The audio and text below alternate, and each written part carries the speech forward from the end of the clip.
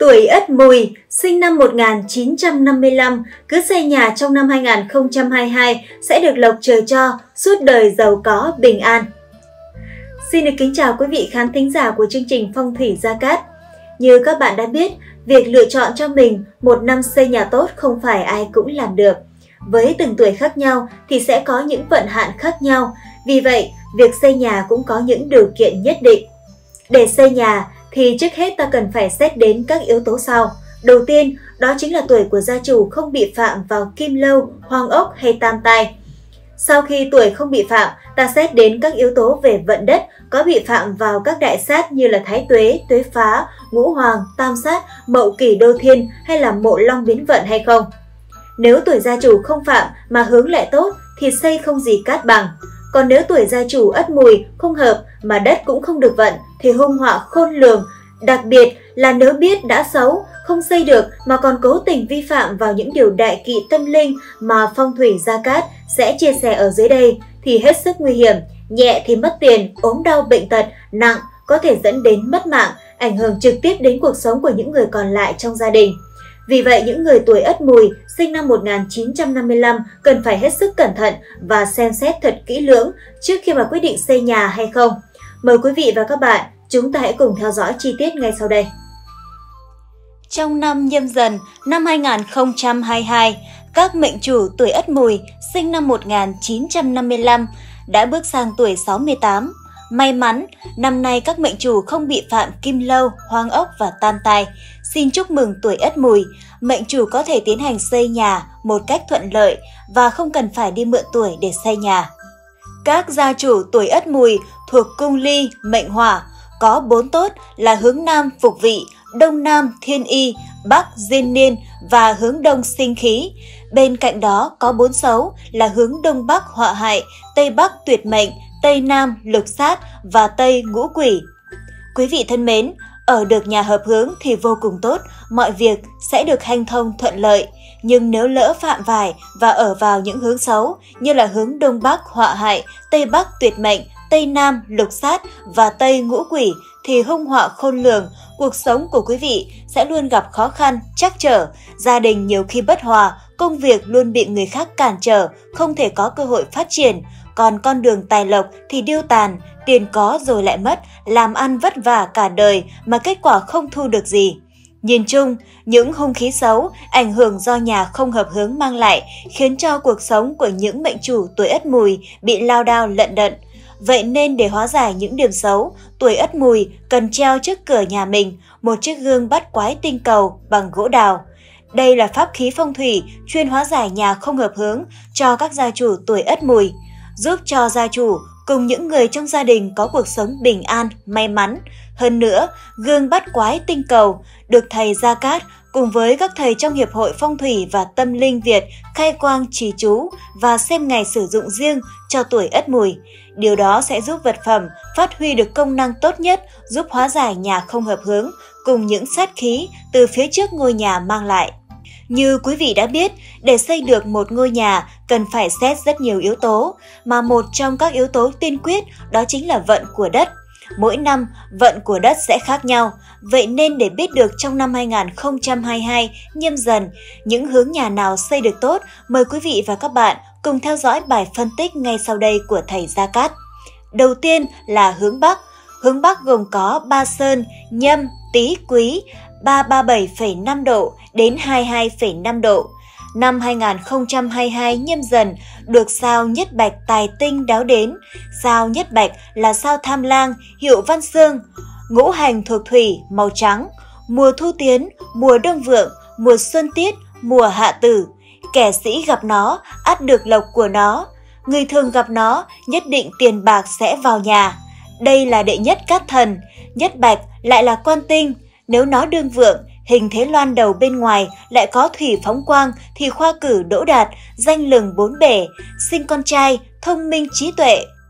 Nó mà suy tử thì hại vợ, không thọ, cuộc đời trôi nổi lênh đênh, mắc nhiều bệnh tật về huyết, thận hư hoặc thành kẻ nghiện ngập trộm cướp. Nhất Bạch gặp phương Bắc là tị hòa, nếu vượng thì có lợi cho tài văn chương hoặc các công việc về văn. Nếu suy thì dễ bị bệnh về máu, nghiện ngập hoặc chìm đắm trong tử sắc. Vậy nên với những nhà hướng Bắc, năm 2022 nhâm dần, hãy treo trước cửa pháp khí phong thủy, mai hoa, phú quý. Đồng thời tại phương vị này trong phòng khách cũng nên đặt một tháp văn xương, kích vận để nghênh sao nhất bạch, giúp cho đường quan vận và học hành của những người trong gia đình được hanh thông, may mắn. Bên cạnh đó, hướng Bắc là một trong những hướng tốt đối với các gia chủ tuổi Ất Mùi. Ở hướng này được hướng diên niên, diên niên hay phúc đức tượng là sao vũ khúc thuộc hành kim là cát tinh, là đại diện cho tuổi thọ. Sự phát đạt về tài chính và kéo dài để lại cho thế hệ sau, nó còn được gọi là thần phúc đức. Hơn nữa, lại ở nhà Tây Trạch thì hợp, làm cho nhà thịnh vượng lên vì bản thân nó là kim, lại gặp hành kim nên sẽ tăng thêm phần thịnh vượng. Thứ hai là hướng Tây. Hướng Tây gồm Ba Sơn, Canh, Dậu Tân, 247,5 đến 292,5 độ. Năm 2022 nhâm dần bị sao thất xích phá quân ngự trị.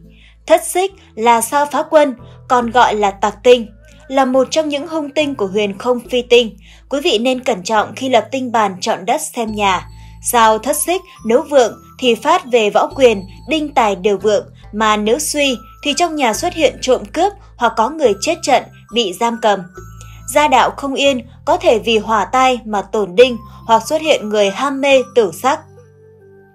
Thất xích là hung tinh, vì vậy nên tĩnh mà không nên động, động thì điều xấu càng nhiều. Nhất là nhà ở đầu phố hay ngã ba thì nguy hại càng lớn.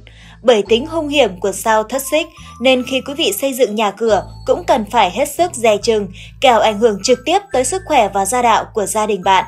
Trong trường hợp quý vị đang ở nhà hướng Tây thì cần phải treo trước cửa nhà pháp khí phong thủy, mai hoa, phú quý để hóa giải. Hướng Tây là một trong những hướng xấu đối với tuổi Ất Mùi. Ở vào hướng này phạm vào ngũ quỷ. Ngũ quỷ là sao liêm trinh, thuộc hành hỏa là hung tinh xấu thứ hai so với tuyệt mệnh. Nó đem đến những chuyện quỷ quái, bệnh hoạn và các tai nạn liên miên xảy đến. Khi ở hướng này, do tương khắc với ngũ hành nên nó sẽ gây nên nhiều mối nguy hiểm hơn. Vậy nên các mệnh chủ tuổi ất mùi cũng cần phải treo một chiếc gương bắt quái tinh cầu trước cửa nhà để hóa giải giúp gia chủ tuổi ất mùi có cuộc sống bình an, may mắn. Thứ ba, đó là hướng Nam. Hướng Nam gồm Ba Sơn, Bính, Ngọ Đinh, 157,5 đến 202,5 độ. Năm 2022, nhâm dần, những nhà tọa tý hướng ngọ bị phạm vào tam sát. Theo Vĩnh Cổ Thông Thư thì tam sát được giải thích là tam sát được chia làm ba dạng, tuyệt là kiếp sát, thai là tai sát, dưỡng là tuế sát. Nói đơn giản hơn thì kiếp sát, tai sát và tuế sát chính là vị trí tuyệt, thai và dưỡng. Từ đó có thể hiểu, trên thực tế thì tam sát là tên gọi chung kết hợp giữa kiếp sát, tai sát và tuế sát. Tam sát là phương vị lưu niên xung tam hợp vượng vị. Trong phong thủy có câu, muốn phát tài phải đấu tam sát. Tam sát là một trong những thần sát trọng yếu trong phong thủy nhà ở. Nếu lưu niên phạm tam sát thì tất sẽ ảnh hưởng tới tài vận trong năm. Cũng dễ vì thế mà gặp họa phá tài, lộ tài, người nhà ốm đau bệnh tật, tai nạn bất ngờ. Vậy nên những nhà hướng Nam trong năm nay xây mới cần phải hết sức lưu ý. Quý vị nên liên hệ đặt lịch trực tiếp với thầy Gia Cát để được tư vấn hoàn toàn miễn phí tại văn phòng. Hướng Nam là hướng phục vị, một trong bốn hướng tốt đối với các gia chủ tuổi Ất Mùi. Phục vị là sao phụ bật, thuộc hành thủy, cũng là cát tinh, có tác dụng làm tăng thêm sức mạnh, tiếp thêm cho trạch mệnh và trạch chủ. Nếu gặp cát tinh thì mọi việc sẽ thăng tiến nhiều, còn gặp hung tinh thì mọi sự cũng xa suốt theo. Thứ tư là hướng Tây Nam. Hướng Tây Nam gồm Ba Sơn, Mùi, Khôn Thân từ 202,5 đến 247,5 độ. Năm 2022 nhâm dần, những nhà tọa dần hướng thân bị phạm vào tuế phá, nhà tọa sửu hướng mùi bị phạm vào tam sát. Đây là hai sát tinh lớn, hóa giải rất khó, vậy nên việc xây mới hoàn toàn thì không nên. Còn những nhà tọa cấn hướng khôn có thể động thổ xây mới trong năm 2022 này. Bên cạnh đó, Tây Nam là hướng xấu với các mệnh chủ tuổi ất mùi. Ở nhà hướng này bị phạm vào hướng lục sát. Lục sát là sao văn khúc, có ngũ hành thuộc thủy, cung là hung tinh, đem sát khí vào nhà. ứng với các tai nạn về lửa, dâm đãng và thị phi. Nó là hung tinh, nhưng so với các sao khác thì đỡ hung hại hơn, vì ngoài hai hành hỏa thổ thì nó đều tương sinh hoặc ngang hòa, nên tính hung hại của nó đỡ hơn các hung tinh khác. Nhưng để hóa giải, các mệnh chủ cũng cần sử dụng một pháp khí phong thủy là gương bắt quái tinh cầu bằng gỗ đào. Đây là pháp khí chuyên hóa giải nhà không hợp hướng với các sát khí từ bên ngoài mang đến cho ngôi nhà của bạn, giúp cho những người trong nhà có cuộc sống ấm no, hạnh phúc. Tiếp theo là hướng đông. Hướng đông gồm Ba Sơn, Giáp, Mão, Ất, 67,5 đến 112,5 độ. Năm 2022 nhâm dần, những nhà định khởi công xây dựng có tọa dậu hướng Mão bị phạm vào Mậu Kỷ, Đô Thiên Sát. Mậu Kỷ Đô Thiên Sát là một trong năm sát tinh lớn nhất của năm, ảnh hưởng trực tiếp đến trạch đất của quý vị. Chính vì nó thuộc một trong năm sát tinh, cho nên trường khí của nó rất mạnh, ảnh hưởng trực tiếp đến sự hưng vượng của ngôi nhà. Vậy nên quý vị hãy sử dụng la bàn phong thủy đo kỹ lưỡng rồi liên hệ trực tiếp với thầy Gia Cát để được tư vấn hoàn toàn miễn phí.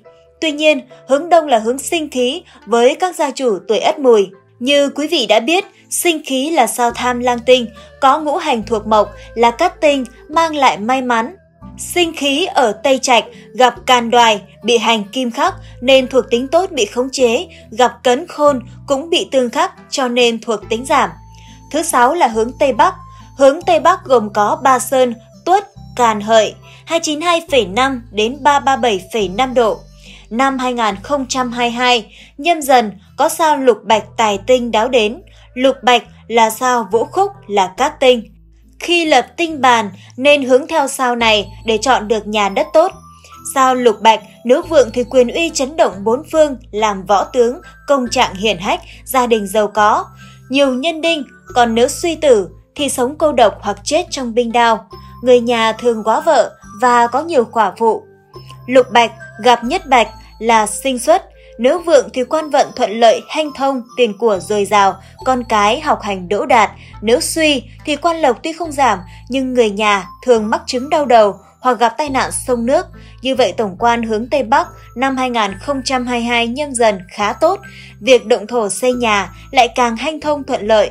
Còn những người đang ở nhà hướng Tây Bắc thì cũng nên treo trước cửa một pháp khí phong thủy mai hoa phú quý để đón cát tinh hóa giải hung tinh của năm. Ngoài ra Tây Bắc là hướng xấu đối với các mệnh chủ tuổi tân mùi. Ở hướng này, bị phạm vào hướng tuyệt mệnh là một trong bốn hướng xấu nhất.